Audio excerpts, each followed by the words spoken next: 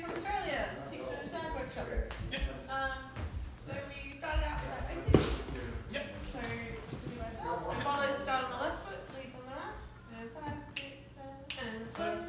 slow, quick, quick, slow, slow, quick, quick, We slow. want to make sure that our heels are touching the ground and we're nice and relaxed. We've got bent knees. We've got a little bit of a stretch Follow up to the starting on the side. right foot, lead starting there. There. And then with our partner, Mm. Slow, slow, quick, quick, slow. So that little just helps us, you know, sort of stay in tune with each other, keeps us light on our feet as well. the main connection to think about is this one. So you're having a nice connection with your hand on the back and also with your elbow here follows. And then this hand just goes up to about the follow shoulder height.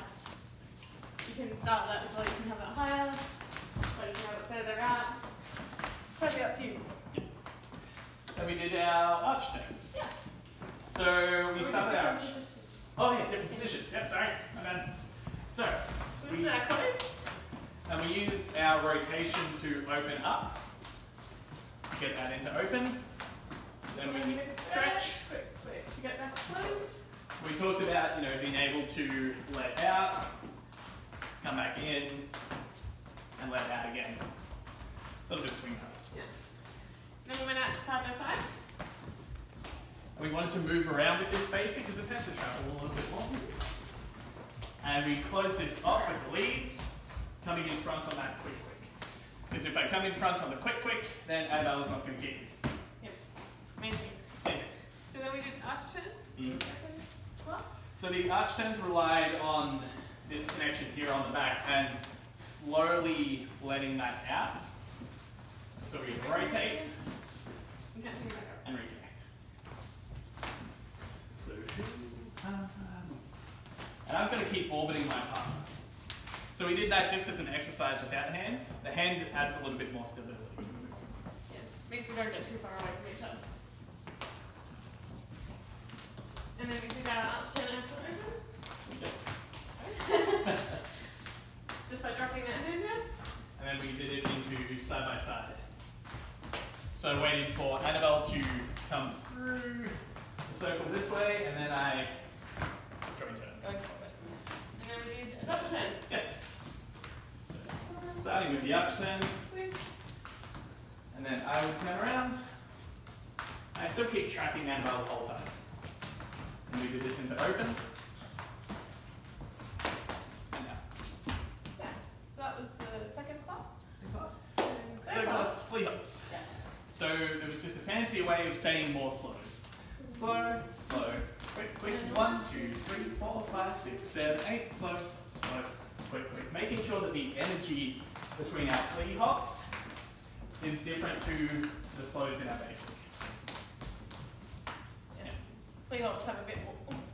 Yeah. And you can take those up or down as long as they feel. Yeah. We also do multiple quicks in side by side. Yeah. So slow, slow, quick, quick, slow, slow, quick, quick. One, two, three, four, five, six, seven, eight. We're talking about how you can also make this as, you know, kind of big and silly as you want.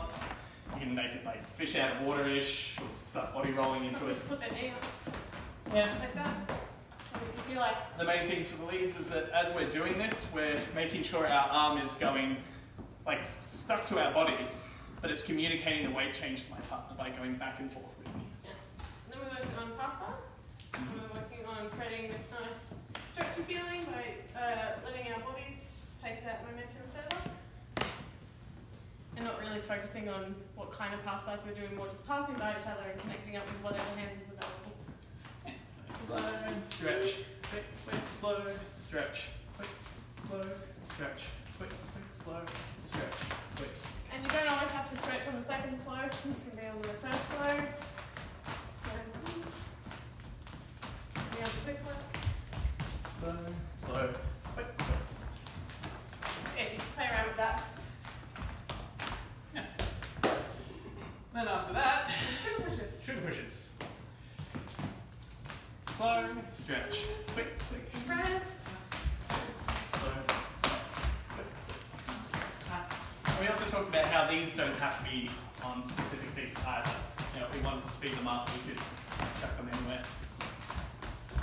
Or just have them really slow.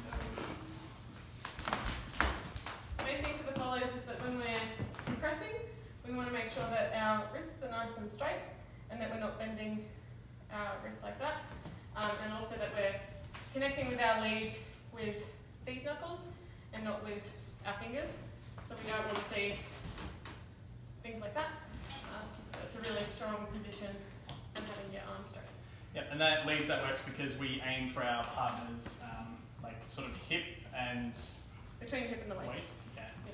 Because otherwise, you know, we wind up too low or we wind up too high, and these are uncomfortable. I mean, Coming into skating. Yeah. So we did slow, slow, quick, quick, one, two, three, four, five, six, seven, eight. Just as our first and basic one, picking a direction Going for it. and going for it, making sure that at the end of it, we prep again if we're going to move in another, another direction. And also keeping our bodies upright. So we've got this nice posture, so we're not heavy into the floor. Then we added our pass bys to it. Yeah.